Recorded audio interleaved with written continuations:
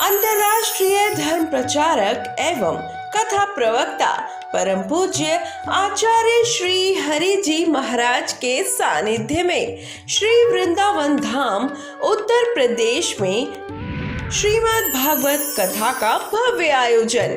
दिनांक 21 सितंबर से 27 सितंबर 2021 समय दोपहर एक से साय चार बजे तक किया जा रहा है। यजमान बनने के लिए संपर्क करें।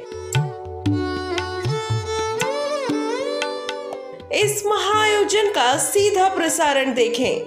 सिर्फ़ सुभारती चैनल पर।